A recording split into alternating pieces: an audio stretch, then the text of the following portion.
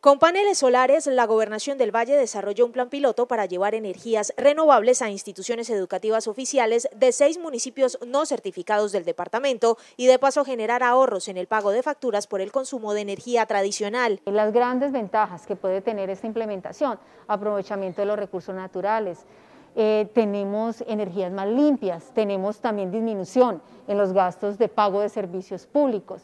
y también tenemos eh, y somos más amigables con el medio ambiente. Instituciones educativas de Pradera, Roldanillo, Dagua, Florida, Zarzal y Sevilla ya cuentan con un moderno sistema fotovoltaico que incluyó el cambio de luminarias de salones y zonas comunes. Hemos instalado un sistema fotovoltaico que consta de 30 paneles solares con sus respectivos inversores y además de eso hemos logrado la eficiencia en la iluminación va a economizar entre un 30 y un 50% en los valores de la factura. Se convierte también en un proyecto de aula donde los estudiantes podrán eh, informarse, investigar cómo es que opera porque allí está la matemática, la física, la química. Este proyecto piloto liderado por el gobierno del Valle tuvo una inversión de 1.846 millones de pesos con recursos de regalías y beneficiará a 5.463 personas de la comunidad educativa del Valle.